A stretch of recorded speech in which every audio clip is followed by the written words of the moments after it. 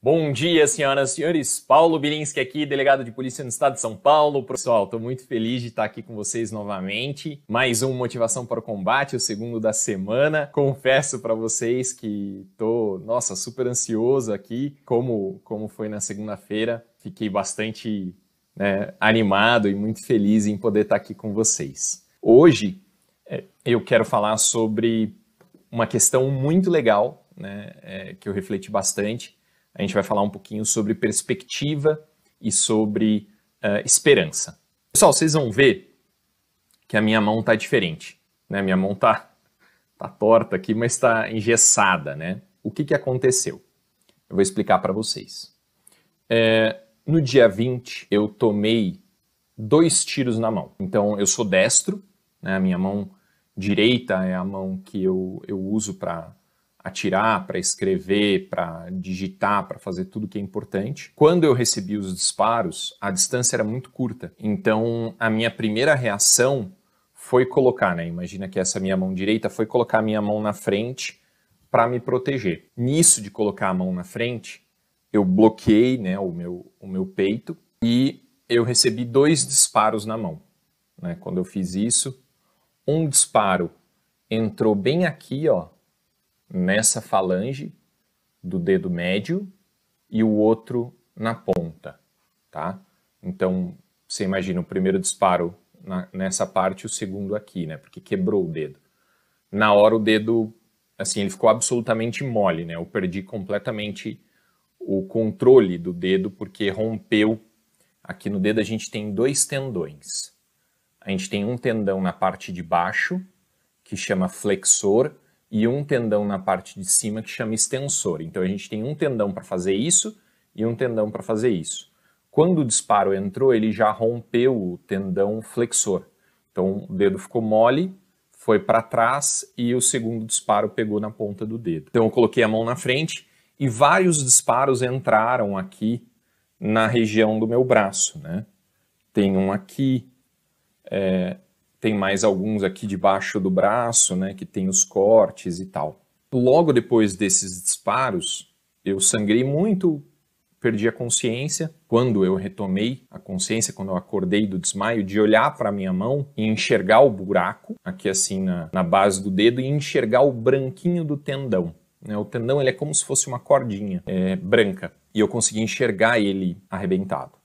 Bom, na hora eu só coloquei a minha mão no peito e é, me arrastei para fora do apartamento. Eu cheguei no hospital, no Hospital Mário Covas, e eu, eu falei para vocês, eu dou graças a Deus de ter sido socorrido para lá, porque é, foi o hospital que tinha uma equipe de emergência preparada para me operar e salvar minha vida. É, e a ortopedia de emergência fez uma cirurgia na minha mão. O que eles fizeram? Costuraram o buraco, né, que tinha um buraco grande na base do meu dedo, eu acho que eu consigo mostrar para vocês o raio-x. Deixa eu ver se o André tá. André, aqui ó, vou mostrar para vocês tomografia computadorizada do meu dedo. Como a base do dedo estava muito destruída, no Hospital Maricovas, obrigado. Eles é, colocaram aqui no dedo uma coisa chamada fixador externo. Então tinha quatro anteninhas assim para fora, metálicas, que estavam segurando meu dedo nessa posição e a expectativa era que aquelas migalhas de osso que sobraram ali no lugar fossem formando um calo, né, formando um novo pedaço de osso. Qual que é o, o problema dessa abordagem? Né? Quando eu acordei das cirurgias, foram três cirurgias, né? a primeira foi na mão, depois no peito, depois na barriga. Eu perguntei do meu dedo, a minha mão estava toda enfaixada, eles disseram que eu ia manter meu dedo, o que eu fiquei muito feliz, porque no dia do que aconteceu eu achei que eu ia perder. Meu dedo estava absolutamente mole, eu não sentia ele. Eu tinha a sensação de uma coisa. Era como ter uma salsicha no lugar do dedo, sabe? Pendurado assim. Uma coisa que tinha peso, né? Que tinha movimento assim, tinha tava presa no meu dedo, mas eu não conseguia mexer. Não tinha vida, né? Não tinha sensação de vida. É como se não pertencesse ao meu corpo. Então, eu achava que eu ia perder o dedo. Eu tinha praticamente certeza. Do jeito que eu olhei para ele, eu pensei, ah, esse dedo aí já era. E quando eu acordei no hospital, Eles disseram não, o dedo vai ficar. Quando eu acordei no Mário Covas e tinha os fixadores, né, o dedo estava no lugar, eu pensei, bom, não vou perder o dedo, né, vamos ver o que vai acontecer. Nos dias seguintes, eu recebi a visita dos médicos que já não eram da cirurgia ortopédica de emergência, eram médicos especialistas em mão. E eles descreveram né, o meu quadro para mim. E a descrição era o seguinte: é, o seu dedo, você sofreu uma fratura pelo disparo de arma de fogo, a energia do projétil é muito alta, a velocidade do projétil é muito alta, então esmigalhou demais o dedo. Eles disseram que é muito parecida com as fraturas que acontecem com um piloto de moto. Quando a pessoa cai de moto e bate a mão na, no chão, né? E arrebenta os dedos. Sobra muito pouco osso. Então, como tinha pouco osso no dedo, ele ia ficar, né, num primeiro momento, fixo dentro daqueles fixadores, ia formar um calo, né, aonde tinha os pedacinhos de osso, e como eu tinha perdido essa articulação aqui, ó, que faz com que o dedo se mexa, como eu tinha perdido essa articulação, meu dedo ficaria duro para sempre. Né? Eu ia ter um dedo duro, assim, eu ia conseguir fechar a mão, mas o dedo ia ficar duro. Justamente esse que eles me explicaram. É o dedo duro você não tem força para fechar a mão, né? Você não vai ter a mesma força que você teria. E normalmente as pessoas que ficam com o dedo enrijecido acabam amputando o dedo posteriormente. Então, qual era a perspectiva? E essa é a palavra, né? Eu vou unir essas duas palavras: perspectiva e esperança, tá? O que, que isso significa para mim? O que, que eu aprendi com essas duas palavras? Então, a palavra perspectiva diz respeito à projeção de futuro. Então, qual era a minha perspectiva no momento em que o Mario Covas deu a sentença para o meu dedo. Falou o que ia acontecer. Eles disseram: olha, seu dedo vai ficar aí, você não vai perder o dedo, mas ele vai ficar para sempre duro. Você não vai conseguir mexer. Ponto. Depois de um tempo, você vai decidir se você quer manter o dedo ou não. Então, você vai ficar com o dedo duro, o dedo duro vai te dar menos utilização do dedo. Você vai ter ele, então esteticamente ele vai estar lá, né? Você vai ter cinco dedos na mão, mas você não vai conseguir mexer. A perspectiva era ficar com o dedo duro, não ter mesma força e mobilidade, e aí no futuro decidir entre permanecer com o dedo ou tirar. Pronto. Tirar para quê? Tirar para poder ter mais é, força na mão. Essa era a ideia. Então a minha perspectiva era essa: não tem outra saída. Ou eu fico com o dedo duro, imóvel, ou eu tiro. Bom, e como eu não tinha esperança de algo diferente, eu não tinha esperança de melhora, não existia espaço. O, o meu futuro ele estava entre esses dois, essas duas portas. Porta número um, dedo duro. Porta número dois, tiro o dedo. Só essas opções e nenhuma delas me deixava com a sensação de que eu poderia melhorar. Isso é falta de perspectiva. É esperança zero. Eu fiquei muito chateado. Não pelo dedo, nem nada disso, porque eu, sinceramente, quando eu tomei os tiros, a última coisa que eu me preocupava era com o meu dedo. Eu queria sair vivo. Se eu tivesse que trocar todos os dedos da mão pela minha vida, eu trocaria. A minha vontade não era necessariamente ah, cá com a minha mão perfeita. Eu tive que fazer o que eu fiz para sobreviver. Eu tive que colocar minha mão na frente para sobreviver. Eu troquei o meu dedo pela minha vida. Se eu tivesse tomado mais tiros no peito, provavelmente eu teria morrido. Eu fiz o melhor possível. Eu tenho orgulho disso, de ter tomado essa decisão de sobreviver. Eu não estava muito preocupado com a mão. Eu estava mais preocupado com a minha vida. O que, que mudou? O professor Ricardo Vale me indicou um médico que ajudou a família dele, um especialista em mão. O que, que é um especialista? É um cara que dedica muito tempo da vida dele a se tornar muito bom em uma única coisa. Então é um médico ortopedista especialista em mão e microcirurgia. Ele me indicou esse médico dizendo: Paulo, esse cara vai vai te ajudar. Se tiver alguma coisa que pode ser feita, esse cara vai te ajudar. E assim que eu saí do hospital, eu marquei a consulta. Eu fiz os exames, fiz o raio-x, mostrei o raio-x para ele. Ele falou, Dr. Marcelo, o nome dele, Marcelo Rosa. Ele falou assim: "Paulo, tá muito ruim, a fratura é muito grave, tem pouquíssimo osso, você não tem articulação, mas vamos olhar. Vamos fazer mais exames." Ele pediu o raio-x, e pediu uma tomografia da mão. Fiz a tomografia da mão, levei para ele. Isso foi numa sexta-feira, eu acho. Sexta-feira passada. E ele falou assim: Paulo, tenho que fazer, tá? Ele falou, ele foi bem claro. Se você permanecer nesse tratamento, que é o que tinha sido é, realizado no Hospital Mário Covas, 100% de certeza que seu dedo vai ficar duro, sem função, e aí futuramente, pelo que eu converso com você, você vai acabar tirando o dedo.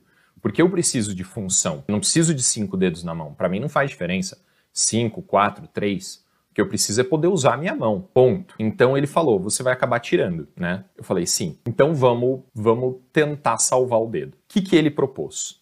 Uma nova cirurgia em que ele ia abrir o dedo e ele ia costurar o tendão, né? O tendão flexor. Esse tendão aqui estava arrebentado. Para que eu pudesse mexer a ponta do dedo, tá? Fazer isso aqui essa parte de baixo não tem como arrumar. Porque vocês viram no, no, no raio-x, na tomografia, tá arrebentado, não, sobrou nada, né? não tem articulação. Articulação é o que permite que você mexa os dedos. Se não tem articulação, acabou. Eu passei a ter perspectiva. Entenderam? A, uma nova porta se abriu na sexta-feira. O que, que essa porta dizia? Olha, se você seguir esse caminho, pode ser se tudo der certo, pode ser que você consiga mexer a ponta do dedo. Que ele vai ficar duro, né? Que você não vai. Eu nunca mais vou conseguir fazer isso. Isso é certo, né? O dedo vai ficar assim, que eu vou conseguir fazer isso aqui, só. Então, o que, que o Dr. Marcelo fez? Ele tirou aqueles fixadores externos, tá?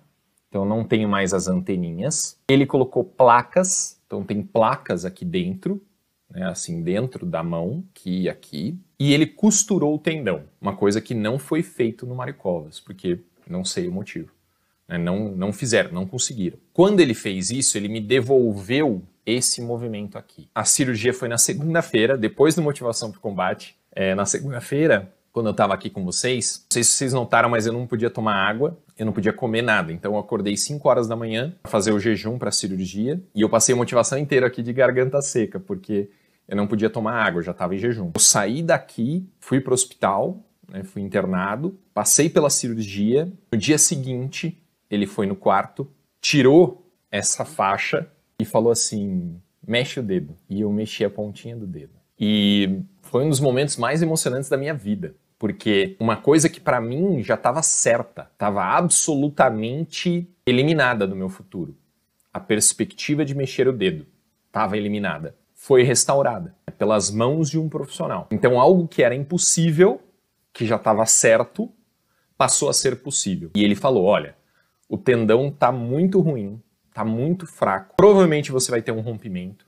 Ele foi super claro, porque não sobrou muita coisa para eu costurar. Eu fiz o melhor possível. Ele sempre tratou dessa forma: fazer o melhor possível.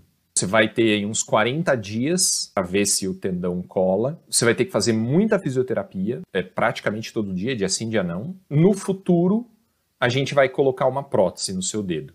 Então, aqui onde não tem a, a articulação, que está né, esmigalhada, ele no futuro vai colocar uma articulação de silicone. Eu falei, ok, perfeito. É, já comecei as sessões de fisioterapia ontem, eu já fui e, e consegui mexer a pontinha do dedo fiz laser, fiz tudo que tem que fazer, né? A, a, a fisioterapia agora é, é, simplesmente mexer a ponta do dedo para que ele não fique enrijecido. Então, o que, que eu aprendi sobre perspectiva e esperança? Perspectiva é enxergar um caminho, é enxergar uma possibilidade, projetar algo que pode acontecer. Esperança, desejar que isso aconteça. É torcer para que isso aconteça. É estar emocionalmente preparado para que isso aconteça. De todo o, o meu período né, de trabalho e melhora, né, desde a UTI, desde que eu acordei na UTI, a minha perspectiva sempre foi ficar 100%, ficar melhor. Quando eu acordei, eu não conseguia me mexer, meu corpo estava absolutamente parado, né? Eu, eu, fiquei quatro dias só no soro, então sem nenhuma alimentação, perdi 15 quilos. Né? Eu entrei na, na, na UTI com 93 quilos, eu tô com menos de 80. Então, a, a minha cabeça estava sempre focada em melhorar, em sair dali. Então, o primeiro objetivo era sair da UTI, o segundo objetivo era sair do quarto. Né? O terceiro objetivo era retomar a minha vida, retomar a motivação para o combate. Quando eu para sair da UTI, eu precisava passar por algumas etapas. Então eu precisava mexer o meu corpo, os meus pés. O pé da gente ele é assim, né? Aqui é a planta do pé, né? É, o meu pé ele estava assim, chama pé equino. Eu não conseguia fazer isso com o pé. Meu pé estava para baixo, os dois assim. Eu não conseguia levantar. E a fisioterapeuta da UTI estava muito preocupada, porque ela falou: Paulo, você tem que você ficou quatro dias só. Você tem que ter a capacidade de levantar o pé. E eu não conseguia por nada. Eu tinha vários objetivos. Era mexer o pé, era conseguir ficar sentado na cama. Eu não conseguia ficar sentado, meu corpo não, não se segurava. Depois, sair da cama, ficar sentado na cadeira, que era, é muito melhor a posição sentado para o meu pulmão. Então eu precisava ficar sentado na cadeira, eu não conseguia. Eu precisava é, é, ficar em pé e andar e eu não conseguia. Então essa, essa foi a sequência. Primeiro mexer os pés, depois mexer a perna. Teve um dia que eu consegui mexer a mão e eu coloquei a minha mão no rosto e eu senti o meu rosto. Eu fiquei dias sem encostar no meu próprio rosto você começa a se desconectar de você mesmo, sabe? São coisas que fazem com que a gente se sinta humano. Então é olhar para você mesmo no espelho, é encostar no seu corpo, é encostar no seu rosto. Isso faz com que você se sinta conectado com você. E eu estava perdendo isso muito rápido. Eu estava me afastando de mim mesmo. Então, esse era o objetivo. Um ponto de cada vez, um, um, detalhe de cada vez. Mexer os pés, mexer as mãos, ficar sentado na cama, é, ficar sentado na cadeira. Quando eu consegui ficar sentado na cadeira, eu não queria voltar mais para a cama. A cama era muito mais confortável, porque o meu corpo ficava todo apoiado. Mas eu sabia que ficar sentado na cadeira era melhor. Então, de manhã cedo, eu já pedia para a enfermeira: me coloca na cadeira. Eu ia para a cadeira e ficava o dia inteiro sentado na cadeira. Eu não queria voltar para a cama, porque a cama, apesar de ser confortável, não era bom para mim. Então eu comecei a forçar o máximo possível para melhorar. A fisioterapia era uma máscara, e por isso que eu tive que tirar a barba.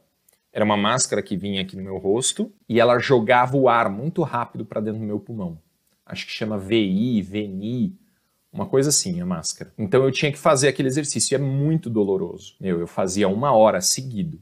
Punha a máscara, rezava o terço e ficava ali, respirando. Então fazia a máscara três vezes por dia, fazia os movimentos da fisioterapia. Eu cheguei assim a, a tinha uma fisioterapeuta japonesa que ela me deu uma garrafinha de água de 500 ml para eu fazer assim com o braço, né? E aí eu falei para ela me dar uma de 2 litros. Ela falou: "Você não vai conseguir". Eu falei: "Eu vou". E ela me deu a de 2 litros e eu consegui fazer o exercício. Então eu acho que isso é perspectiva é você enxergar um campo para melhora, é você enxergar algo além, é você ter a esperança, né? Você juntar a vontade, a previsão, a projeção com a força interna, né? a, a vontade de chegar lá, a vontade de superar. Então a esperança passou a ser algo que me movia muito. A esperança de sair da UTI, a esperança de ir para o quarto, a esperança de ir para casa, de ficar melhor, de voltar para o meu trabalho. E foi isso que eu fui fazendo gradativamente é, até chegar em casa. Quando eu cheguei em casa, o objetivo passou a ser tentar resolver a minha mão. E aí começou o trabalho com o Dr. Marcelo. Então, qual que é a minha perspectiva hoje? Não vou mexer o dedo inteiro? Não. Vou mexer a ponta? Vou. Vou fazer o melhor possível. Vou fazer a fisioterapia, vou fazer os curativos, vou tomar cuidado com o dedo, né? Vou fazer os exercícios com o braço aqui o melhor possível, né? Para quem, poxa, quem me conhece, é, né, de antes disso sabe que eu sempre fui muito dedicado aos treinos e isso é uma coisa que eu sinto muita falta. Eu quero voltar logo o mais rápido possível, que é algo que eu quero demais. Então, qual que é a relação, né? O que, que eu enxergo com o estudo, né? Principalmente o estudo para concurso. Eu enxergo da seguinte forma: objetivo final de quem está estudando é alcançar a aprovação. Para alcançar a aprovação, você tem que ter uma nota muito boa. Para ter uma nota muito boa, você tem que ter um domínio muito grande da matéria. E você tem que saber executar a prova de uma forma muito correta. Então existem pessoas muito inteligentes que dominam o conteúdo, mas que na hora da prova ficam muito nervosas e não conseguem executar. Então perceba que é, é uma soma de diversos fatores: domínio do conteúdo, domínio emocional, controle do tempo, uma série, uma série de fatores. Só que para você alcançar essa forma final, digamos assim, né, essa forma ideal do estudante, você tem que passar por uma série de etapas, que é um crescimento contínuo. Tá? Então é exatamente, é o Paulo na UTI. É o aluno que começou a estudar. Então, para que o Paulo consiga fazer academia, trabalhar, atirar, ele precisa primeiro mexer o pé. Você não vai conseguir mexer o pé se você não começar. Você não vai conseguir passar no concurso se você não começar a estudar. Você não vai começar a se mexer se você não tiver essa vontade. Se eu tivesse desistido da vida, eu tava no UTI até agora. Todo mundo falou isso. Cara, eu achei que você ia ficar no mínimo um mês no UTI. Eu fiquei 11 dias. Eu queria ficar menos. Eu achei que o médico ia me liberar direto para casa da UTI.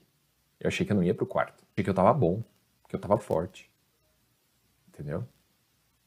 Então, qual que era a minha ideia? Minha ideia era o máximo possível de é, dedicação para poder superar o mais rápido.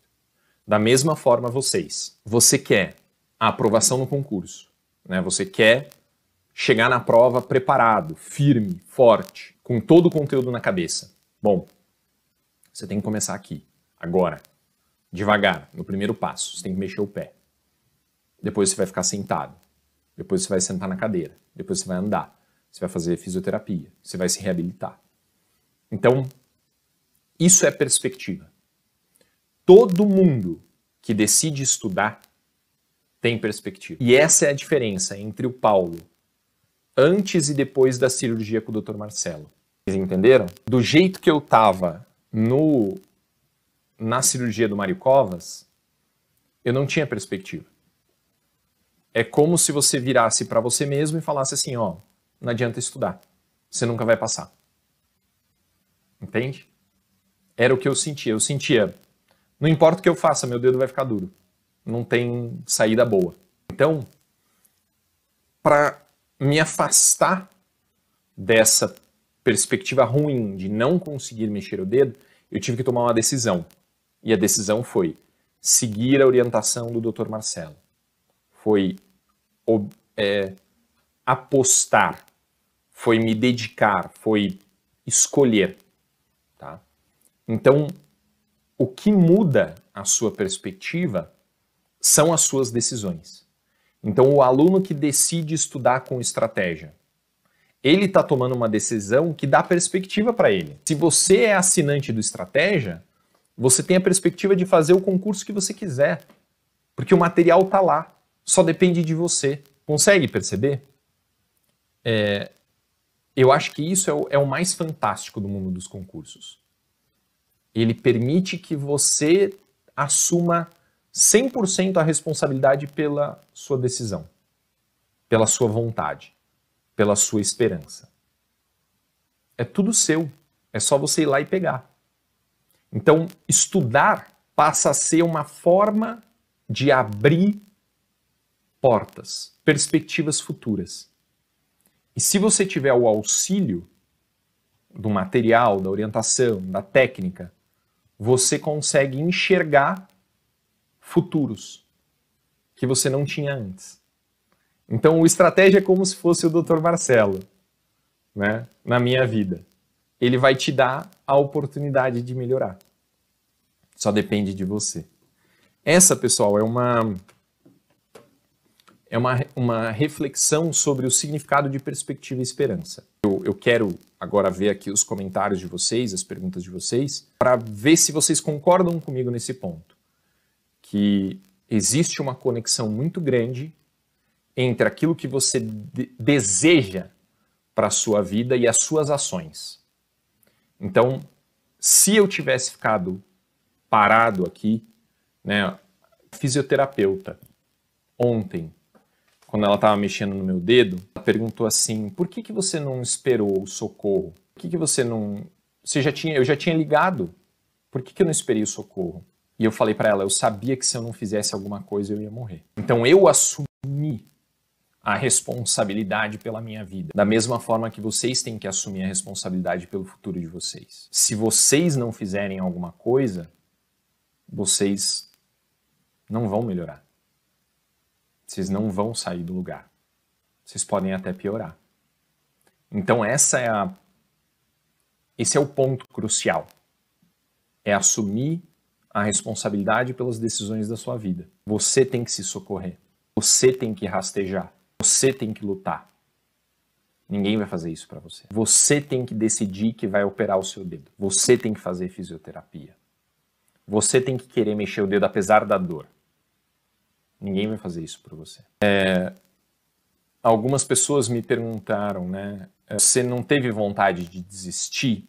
E teve um dia aqui em casa, de manhã eu me sinto muito bem, quando tem luz. O sol, a claridade me faz muito bem. Meu pai, às vezes eu estou sentado aqui no sofá fazendo o respiron, né? Aquela fisioterapia para o pulmão. Meu pai, ele, ele vê que a televisão tá ligada, ele vem e ele quer fechar aquela janela ali atrás né, para ficar melhor a visão. E eu falo, não, é, deixa aberto, porque eu quero, eu quero luz, né, a luz me faz bem. Quando começa a ficar a noite, eu acho que também porque eu não tomo, eu não tô tomando remédio para dor, eu tô tomando o mínimo possível de remédio, é, não tô tomando antidepressivo, não tô tomando é, os remédios, todos os remédios fortes para dor que me receitaram, eu não tomei nenhum. Tá? Eu tô tentando segurar mesmo na raça. Quando escurece, eu me sinto pior. Eu me sinto mais desgastado, assim, dá um cansaço, sabe, no final do dia. A dor é muito maior também. E teve um dia que essa dor começou muito cedo e estava doendo em lugares que não doíam antes. Eu tenho na perna esquerda um projétil alojado na coxa e na perna direita eu tenho uma fratura na minha bacia. E aquilo estava doendo muito o dia inteiro. Não tinha posição, eu não conseguia ficar sentado, não conseguia ficar em pé. Cada passo que eu dava doía. Eu tenho dois projéteis alojados na, na costela. Tava doendo muito, assim, doía para respirar. Esse foi um dia muito ruim. Um dia foda. Sabe aquele dia que, meu, dá muita vontade de desistir. E nesse dia muito ruim, única coisa que eu pensei foi: vai passar. Vai passar. E eu fiquei quieto.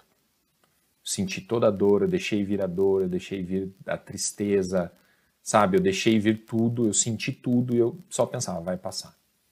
Então, nem todos os dias são ótimos. Nem todos os dias eu tô melhor. Tem dia que é muito difícil para dormir. Dormir é. Meu, você fica sem dormir fica tudo ruim. Né? Hoje, graças a Deus, eu consegui dormir. Essa sensação de que nem todo dia vai ser bom é meio complicada. Né? Isso acontece com vocês também. Tem dia que você vai estar meio gripado, tem dia que você está desanimado, tem dia que alguém falou alguma merda para você, né? E você dá aquela baqueada, mas o caminho é o contrário. O caminho é tá sempre pensando na melhora, né? Sempre com a perspectiva de melhora. Então, o que, que é né, o, o Jocko, Jocko Willink, é um Navy SEAL, ele fala assim, extreme ownership. Né? Então, é você ser, é autorresponsabilidade extrema. Então, é você chamar para você a responsabilidade de tudo na sua vida. Você não deixar para os outros nada. E é assim que eu me sinto. Então, eu liguei para a polícia, eu me socorri, eu rastejei, eu fiz o melhor possível, o tempo todo. Todos, todas as oportunidades que eu tive de agir para melhorar, eu agi. Se alguém me disser agora, Paulo, você tem que você tem que andar 20 km por dia para melhorar, eu vou andar 25 km por dia para melhorar. Se o médico me disser, você vai ter que cortar fora o braço direito, eu vou cortar fora o braço direito. Entende? Não tem outra opção é, eu vou fazer tudo que tiver, tudo que for possível para melhorar. Com toda a força, toda a agressividade, toda a responsabilidade do mundo. E é isso que vocês têm que fazer. Ninguém vai passar no concurso por vocês, ninguém vai estudar por vocês. Ou você estuda ou você estuda. A sua vida é o seu futuro. Eu olho assim, é, o meu nariz aqui assim, ele, ele perdeu um pedaço, né? Porque eu, eu tenho desvio de septo, então o, o, aquele cano, aquela sonda nasal, só podia passar por um lado. Normalmente eles trocam para não machucar tanto o nariz. E eu estava meio desacordado na UTI, minha sonda estava obstruída. Eles tiraram e a enfermeira falou: Olha, eu vou passar pelo outro nariz. E eu falei: Moça, eu tenho desvio de septo, não vai dar certo. Tem que ser na mesma narina. Ela, tipo, fica quieto, né? E tentou enfiar na outra narina. E não deu certo. Ela, ah, é verdade, o seu nariz é torto, vamos colocar na, na esquerda. E aí eu lá, né, fudido, falei, eu não falei. Por que, que eu falei isso? Porque eu assumi a responsabilidade. Eu, eu tentei fazer o melhor possível o tempo todo. Eu prestava atenção em tudo que eles estavam falando. Todos os curativos, eu prestei atenção em todos os curativos. Eu, eu lembrava as enfermeiras: olha, tem um buraco aqui, tem um corte aqui, tem um negócio aqui. É assim que vai ser. O maior responsável pela minha melhora sou eu. Então é assim: eu não sei o que, vai ser da minha vida daqui a dois meses. Eu não controlo isso. Eu controlo hoje. Eu sei o que eu vou fazer hoje. Eu vou terminar o motivação para o combate. Eu vou fazer exercício, né? Braço aqui, ó. Levantar o braço. Exercício super difícil. Ó, levantar o braço. Mas aqui já é difícil pra caramba. Esticar o braço. Por que, que dói tanto, Paulo? Porque aqui tá cheio de projétil. Cheio de pedacinho de projétil. Ó, eu não consigo esticar 100%, mas eu vou esticar. Aí puxa, estica, dói pra caramba. É isso que eu vou fazer. Alongamento, exercício. Ah, tá? Vou fazer respiron, né? aquele das bolinhas para melhorar o pulmão. Vou almoçar. À tarde eu vou fazer reunião, fazer mais fisioterapia. Tomar banho, que é um parto. É difícil pra caramba. Depois do banho, remédio, jantar e dormir. É isso. Eu tenho controle sobre hoje. Eu não sei como é que eu vou estar daqui a um mês. Amanhã, o que, que eu vou fazer? Eu tenho consulta, fisioterapia, médico. É isso. Entende? É hoje, é amanhã, é segunda-feira, só. Eu não tenho controle do resto. Eu não sei como vai ser. Eu vou fazer o melhor possível. Sempre. Se tem algo que eu posso fazer hoje, eu vou fazer hoje. Se tem algo que eu posso fazer amanhã, eu vou fazer amanhã. Não dá para dizer assim, ah, mas e daqui a. Não sei.